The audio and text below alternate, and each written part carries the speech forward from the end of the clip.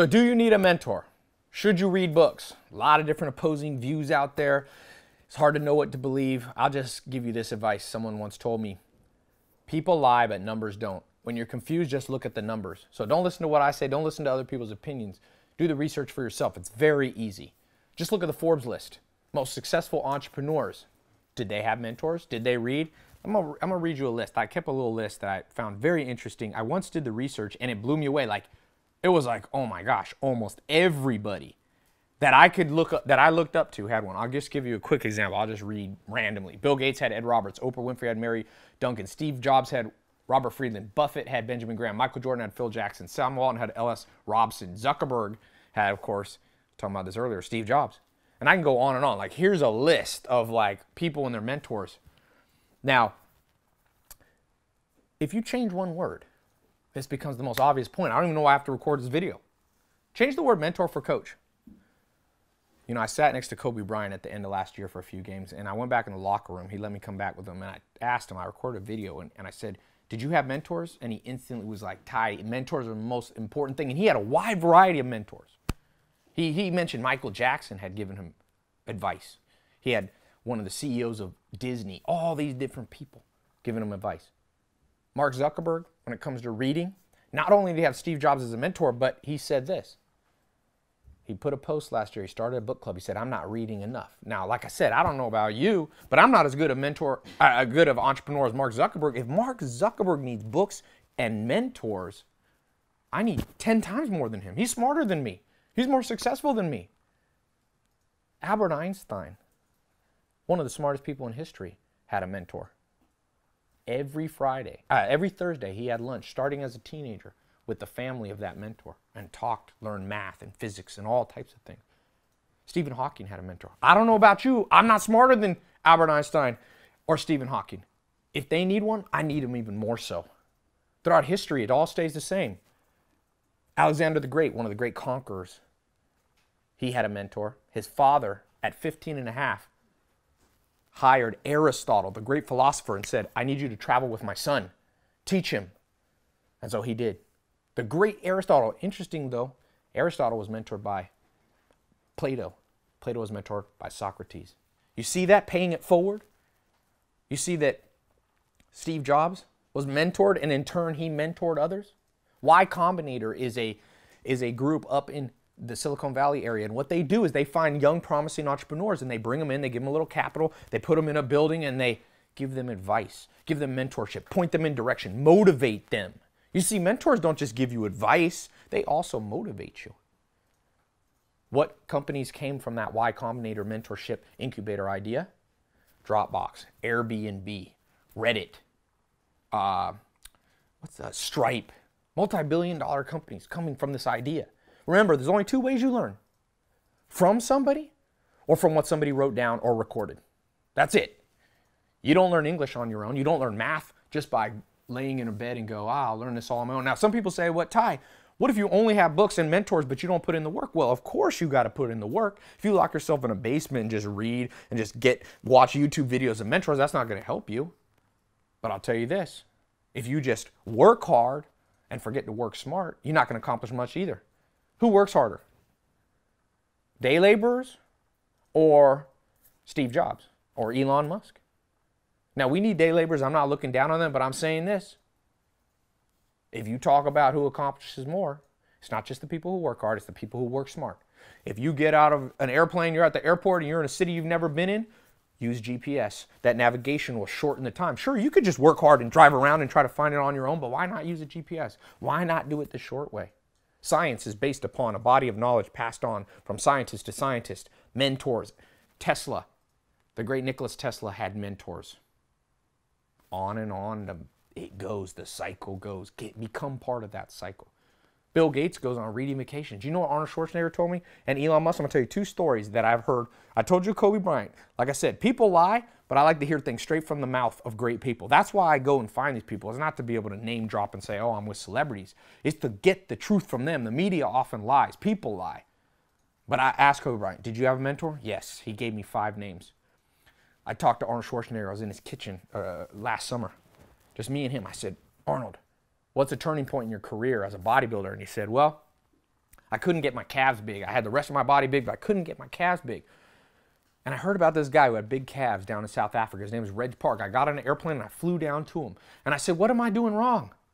And he said, Let me see you work out. They went to the gym together, and Reg Park went on the calf machine and put on 900 pounds. And Arnold Schwarzenegger, the light bulb went off. He said, I'm doing too many reps. I'm only lifting like 400 pounds. Reg Park said, Put those heavy weight on. Change up your game. Just like Bruce Lee was mentored by Ip Man, Arnold Schwarzenegger was mentored by Reg Park.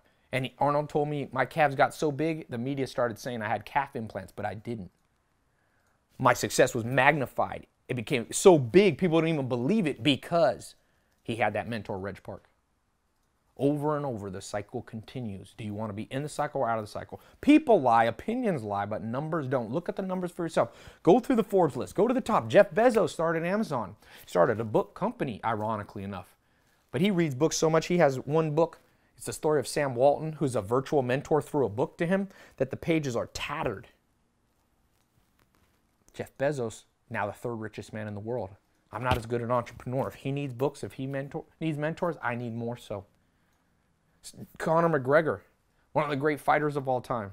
He's had the same mentor slash coach his whole career. I don't know about you, but I'm not as good an athlete as Conor McGregor. If he needs a mentor, I need one too. That's why I said if you change the conversation from mentors to coaches, then you become kind of silly when you go, oh, you don't need a coach. Name a great athlete who didn't have a coach. Michael Jordan, I read a fascinating book about him. And he said the two biggest influences important. Why he has six rings. Of course, him being a great athlete and putting in the work was important.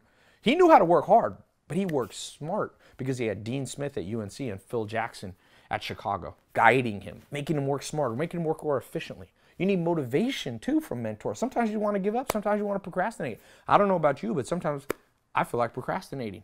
And then I remember the story that I read in an autobiography or the person that I met. You know what Elon Musk told me? I said, Elon, how did you start SpaceX? You didn't have any experience with spaceships. You were you had PayPal before. He said, Oh, I just read a lot of books. Just read books.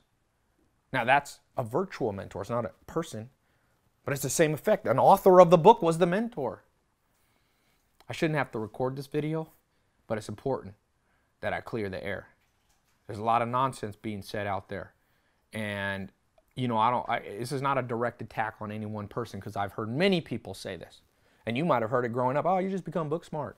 Just do stuff. Just work hard. Well, a lot of people work hard and aren't successful. A lot of people work hard and aren't successful. A lot of people work hard and never make more than 50 grand their whole life. And there's nothing wrong. Not everybody has to try to be Steve Jobs. Not everyone has to try to be Albert Einstein. That's not what I'm saying. But I'm saying I want to learn from people who did big things. You choose who you want to learn from. I go straight to the top. Martin Luther King Jr. had a mentor. Gandhi had a mentor that helped him become a humanitarian and, and fight for the independence of India. Oprah Winfrey had Maya Angelou, the poet. Malcolm X had mentors. Everybody, you go through history. Great people had great mentors. Great people read. Mark Cuban was over at my house, the billionaire, the Shark Tank billionaire. And I said, Do you read much, Mark? He said, You know what, Tai? The reason I got a private jet waiting down at LAX for me, empty, and so when I get in it, I can just catch up on reading without anybody disturbing me. He keeps a multi-million, I don't I think he has like a Gulfstream. He keeps a $50 million jet hanging around just so he could read more. Warren Buffett gets on a plane, they say nobody talks, he just reads. Go through the history. People lie, but numbers don't. Work hard, but work smart. You need tools, you need leverage. What makes Bill Gates the 16 time richest man in the world. Well, he goes on reading vacations. His blog is all about books. And one thing he said that I found fascinating he said, You know, I'm kind of lazy. I try to find ways to do it smarter than most people. And sure, he put in the hours. It's a necessity to put in the hours, but the goal isn't to put in the hours. The goal is to work less and do more. The goal is to work half as much and get twice the results. That comes from the leverage of intelligence. That's what can make you great. Find great people, read more, trust me, and just split test it. If you don't believe me, test it for yourself. Find an amazing book. I got a free book list you can read, tailopez.com slash books. Find one of those books. At the end of it, if it doesn't read a few of them, if it doesn't help you, stop reading. Different people have different ways of learning. But nine out of 10 people who do big things either had mentors or read books. And so play the cards, play the odds. If you got a bad hand in poker, you're going to fold that hand. Sure, you might win with a two and a three, but it's better to have pocket aces. It's better to have two aces. The odds are better. Using mentors, using books increases the odds of success. It's not a guarantee because you still got to put in the work. You still must execute. But I'll tell you this you got a poor hand and you just try to work your way, you're still going to lose. All those people just trying hard work. I recorded this video to save you a lot of heartache, a lot of hard years. So, yeah, all I can say in summary is I'm not as smart or as good an athlete or as good an entrepreneur as Bill Gates, Warren Buffett, Mark Zuckerberg, Tom Hanks, Larry Page, co founder of Google, Mark Zuckerberg, Elon Musk, Mark Cuban, Bruce Lee, Conor McGregor, Michael Jordan, LeBron James, Kobe Bryant. By the way, I'm reciting back just a few of the people who had mentors. I'm not as good on camera as Oprah Winfrey, who mentored Ellen DeGeneres. If they needed it, I need it more. If you don't need it, if you're better than them, I'd have to question your humility. If they need it, but you don't, if Einstein needed a mentor and I said, nah, I don't need a mentor, I would question my humility. Remember, pride comes before a fall, and it's the humble who will inherit the earth. But it's not the humility most people think. It's not the humility of you just, oh, you know, woe is me, nobody like. That's not humble. You don't have to demean yourself. Humility in action is what the world needs. People who go, well, damn, Conor McGregor is in great shape. I want to learn to do MMA fighting. He needed a coach. I better find me a coach. I do Brazilian Jiu Jitsu. If you try to walk in a gym and say you're good at Jiu Jitsu and they say, Who's your mentor coach? and you say, Ma, I don't need one, they're going to tap you out. No one's going to like you. They're going to tap you out, put you in a, put you, choke you out, and throw you out the door. I was mentored by Rigan Machado, by Rener Gracie, I just had Rorion Gracie at my house. His father uh, basically invented Brazilian Jiu Jitsu. I respect those mentors. And if I came to them and I said there's people out there teaching that you shouldn't, that mentors aren't needed, you know what they would say? They would say, that's a disrespectful person. They'd say, bring them to my gym Tai. Let them roll with me on the mats. Let me put them to sleep. We'll record it.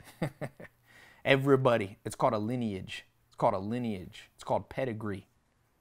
You say, I learned from this person who learned from this person who learned from this person. That's how science works, by the way. Isaac Newton said, if I'm great, it's because I stand on the shoulder of giants.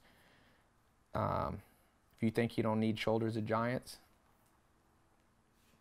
I can guess how much money is going to be in your bank account soon. It ain't as much as you could if you listen to smart people. Anyway, leave your opinion below.